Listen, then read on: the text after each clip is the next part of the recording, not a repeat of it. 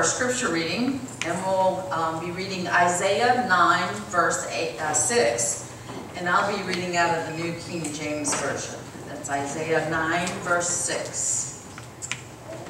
For unto us a child is born, unto us a son is given, and the government will be upon his shoulder, and his name will be called Wonderful, Counselor, Mighty God, Everlasting Father, Prince of Peace.